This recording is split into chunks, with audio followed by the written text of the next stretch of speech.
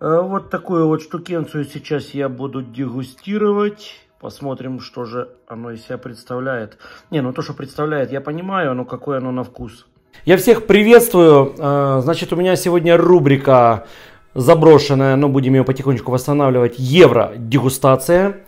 Э, на обзорчике вот такая вот штука. Сейчас вы увидите ближе под съемочку. Э, короче говоря, это типа греческая штуковина в листьях э, винограда. Значит, там рис со специями. Ну что, не будем тянуть кота за яйца, да? Попробуем. Что же это за фигли-мигли? На самом деле здесь очень много таких штук. Так, я не знаю, полностью открывать, не открывать. Я не буду полностью открывать. Вот сейчас Ах, там маслечко, я не знаю, видно вам, ну я надеюсь, что видно.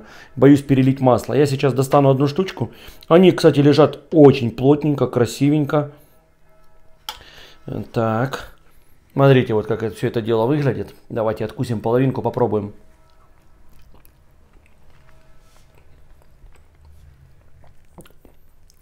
Легкая кислинка от листьев винограда. Рис. Он, конечно, переваренный в мясо. Ммм. Ну это прикольно. Стоимость этой банки я взял по акции 99 центов. Как перекус. Вполне себе достойно. Я думал будет хуже. Скручено очень аккуратно. Такие вот маленькие колобашечки. Годится. Слушайте, довольно-таки неплохо. А ну.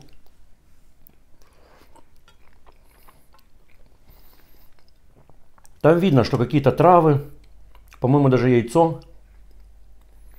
Я не уверен, но возможно. Единственное, что рис прям сильно переварен. Ну, то такое дело.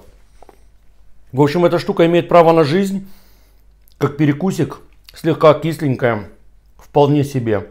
Поэтому, кто видел и сомневался, то можете смело брать, дегустировать. Не так это все дело страшно. Эти штуки, по-моему, есть даже в больших таких высоких баночках и больше, чем эти. Ну вот как-то так. Спасибо за просмотр. Всем пока.